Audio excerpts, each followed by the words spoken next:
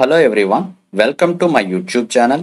In this video, I am going to explain how to develop calendar program using Python. For this, we have to import calendar module. Import calendar. Import calendar. Take one variable y.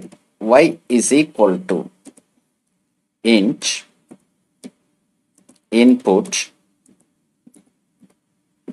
year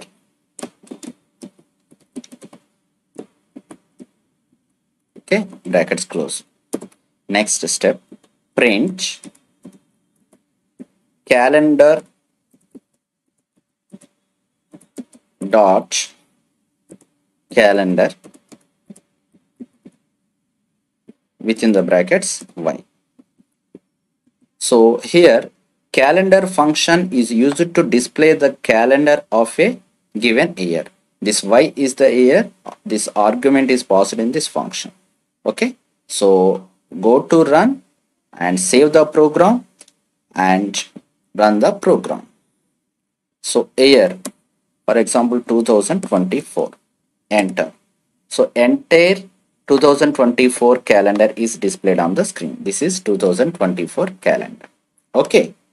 Suppose if you want to print a particular month of a given year we need to change program. Okay so i will explain.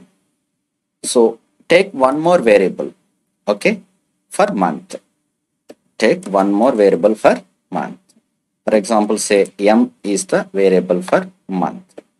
This is m variable for month.